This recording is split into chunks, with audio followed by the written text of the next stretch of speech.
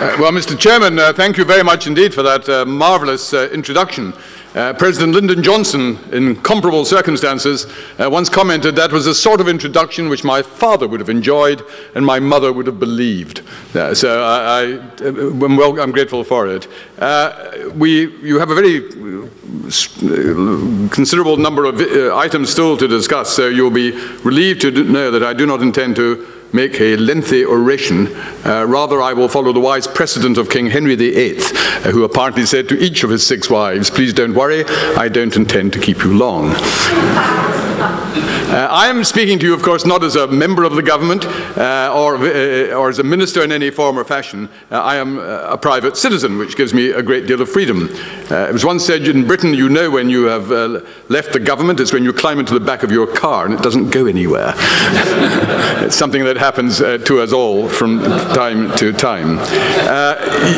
I speak this morning, obviously, on Brexit and on the European issues, and I speak as someone who was actually Margaret Thatcher's Europe minister, one of the things you didn't mention uh, when I was a Minister of State in the 1980s, as well as having been uh, Foreign Secretary. But you want to know where I come from uh, in the sense of the Europe uh, debate. Uh, I, I, voted for Remain in the referendum and was very disappointed with the outcome. But I voted for Remain nevertheless as a Eurosceptic. When I was Foreign Secretary, I was described in the French paper Le Monde as a Eurosceptic modéré. and I think in that sense, my views were not that different from quite a large chunk uh, of the electorate. I'm going to deal essentially with the political dimension this morning. Of course, that's only part of, of the wider issues that we're all grappling uh, with. But I think the starting point has to be to just remind ourselves that what happened on June the 23rd was actually not something extraordinary and out of the blue. It was an accident waiting to happen. Because our whole relationship with the European Union uh, has been semi-detached, dysfunctional uh, ever since we first joined. Indeed, even before then. When the original common market was created by the six. Uh, they wanted us to join. We declined to do so. When eventually, under uh, Harold Macmillan, we did apply, uh, then uh, General de Gaulle, very presciently and wisely, as it turns out, uh, said, vetoed us and said we were not truly European. From the moment we did join, uh, we were more concerned with what we didn't want to integrate than what we did. Margaret Thatcher wanted our money back and got it. and then when the single currency came forward, uh, then we just did not join under, not just under Conservative government, but under Tony Blair and Gordon Brown's government as well. Likewise, Schengen uh, and other issues of that kind. It's not just Britain. Sweden, Denmark, one or two other countries have had a comparable situation, but for a country the size of the United Kingdom, that was a very profound uh, phenomenon. Uh, I think the other point worth making is to reflect on the fact that, and I suspect I'm right in this, that on June the 23rd, it wasn't just those who voted no who were Eurosceptic, or who thought of themselves in those terms. Probably the vast majority of people who voted yes to remain were actually Eurosceptic as well, rather like myself. The judgment we made was, well, we're not keen, we certainly don't want to join the single currency, we don't believe in Schengen, we don't believe in a United States of Europe, we rather resent all the bureau unnecessary bureaucracy, but on balance we still think Britain benefits more than it would lose, than it would gain uh, from leaving the European Union. This is important in terms of where we go from here, because if I'm correct, that probably most of you who voted Remain, if you did vote Remain, uh, probably think of yourselves as pretty Eurosceptic, unlikely to wish to join the Euro uh, and other new forms of integration, unless there is an obvious benefit to the United Kingdom's standard of living, quality of life, or security. So, so where are we now? Uh, famous lines, uh, if you can treat with triumph and disaster and treat those two impostors just the same. It's never as good as you hope, it's never as bad as you fear. And for a country the size of the United Kingdom, I have not the slightest doubt, nor have I ever had any doubt, uh, that the United Kingdom could survive as an independent state outside the European Union. I still believe we will lose more than we will gain, and that's primarily uh, in the services and financial uh, sphere. I think the referendum was inevitable. Not necessarily the timing of it, but I think that such was the dysfunctionality of our relationship with the EU that at some stage the electorate had to be asked, and indeed even the Liberal Democrats, the most pro-European party of all, came to this conclusion as well, that the, the, the, public had to be asked, do you really want us to continue in this organization uh, or to leave it? The timing was unfortunate because of the uh, Middle East migrant crisis, uh, and I don't think the, the way that the pro-Remain side ran the campaign was as clever as it could have been, uh, because I think that uh, while on the no side there was very little independent or dare I say it expert uh, advice that supported exit, and therefore there was inevitable exaggeration on that side.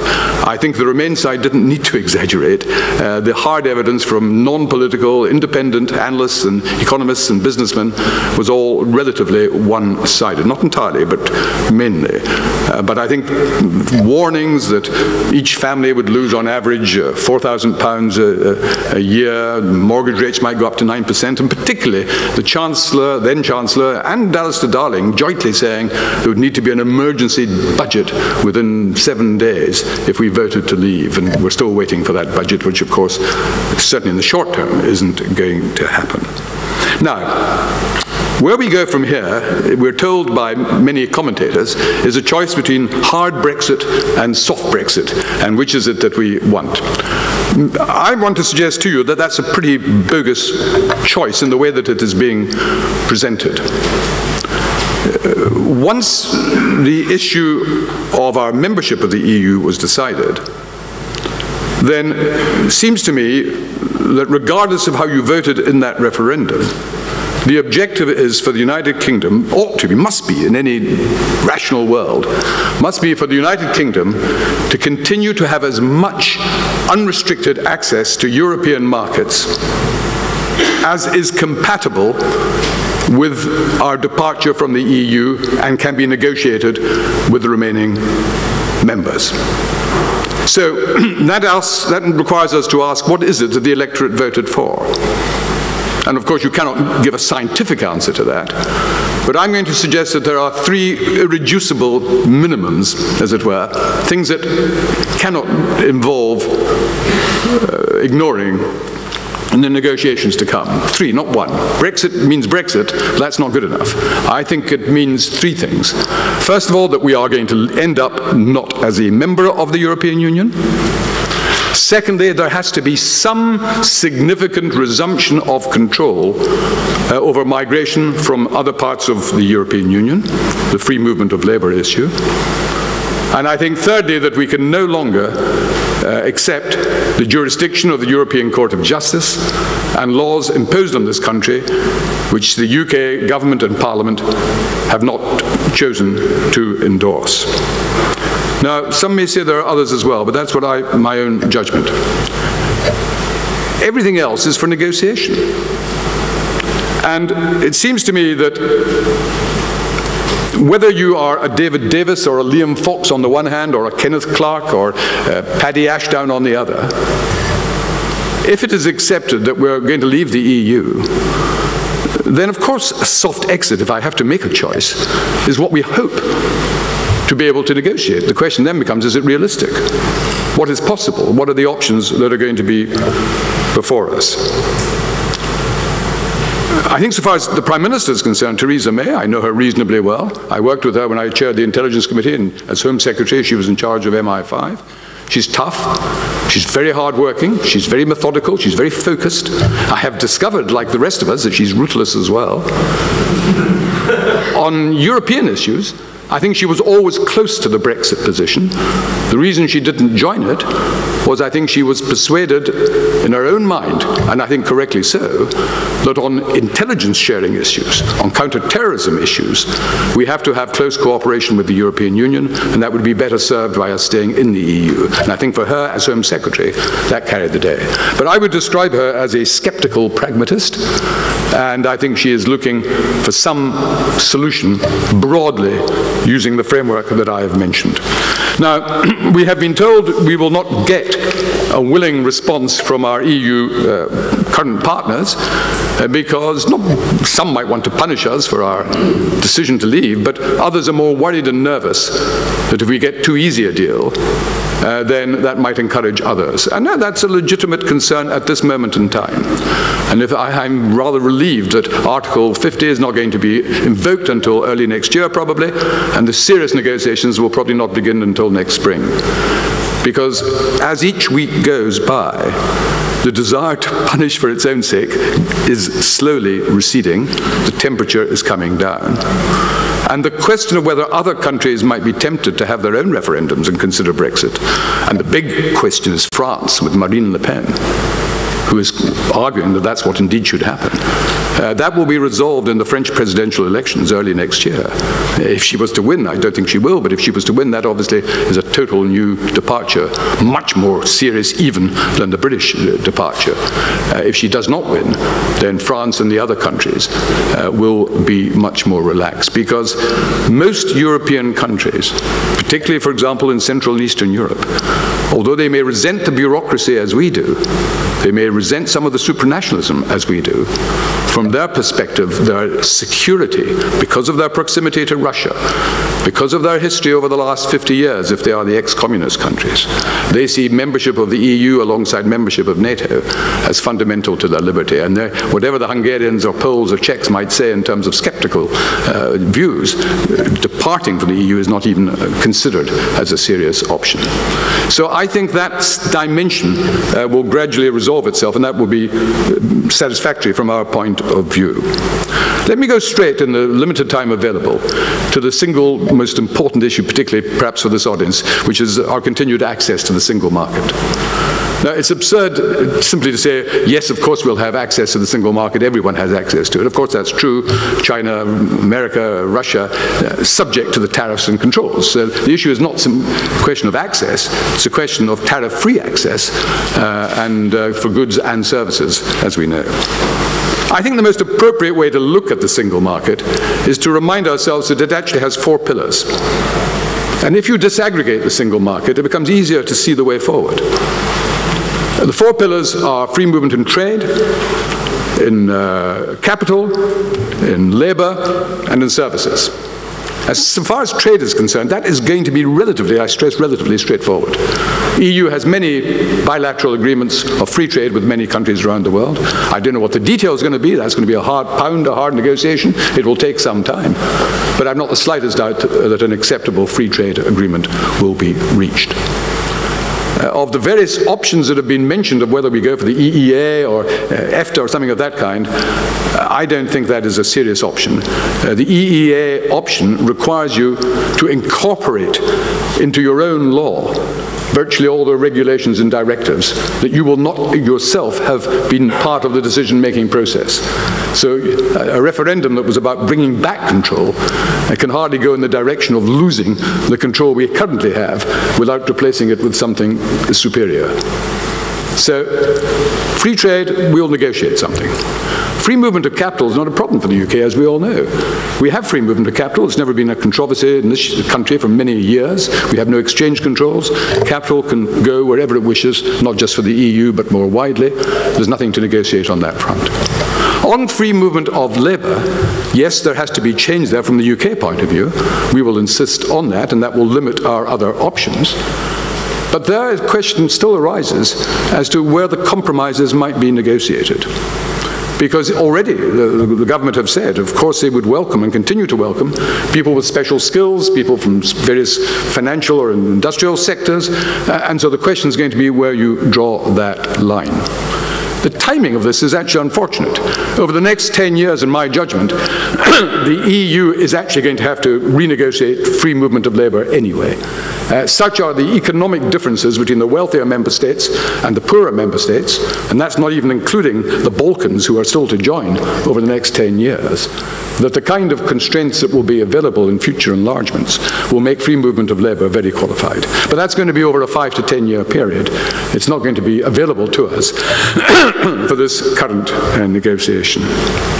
So that leaves the service sector. financial services and the position for banks, for investment trusts, for asset management, insurance, uh, and the like.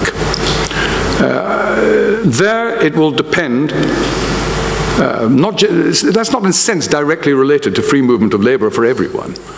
When it comes to a serious negotiation, then it, there will only be something to negotiate if there's something in it for both sides, as we know in any negotiation.